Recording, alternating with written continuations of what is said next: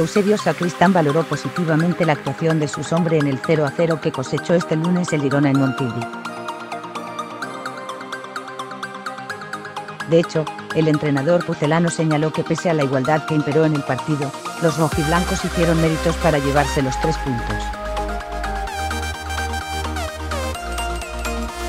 Ha sido un partido muy disputado ante un rival en muy buena dinámica y que juega muy bien.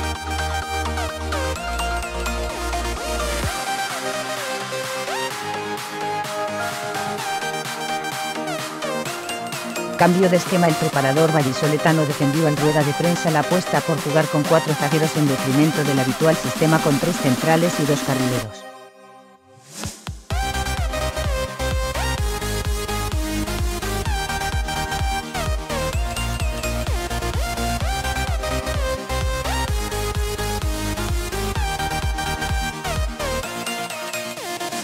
Cuestionado sobre la importancia de una hipotética victoria ante la Real Sociedad, que habría dejado al Girona a siete puntos de la zona de descenso, Eusebio optó por relativizar este dato. Todos los partidos son igual de importantes. No somos ajenos a los resultados de los rivales, pero tenemos que centrarnos en nosotros mismos.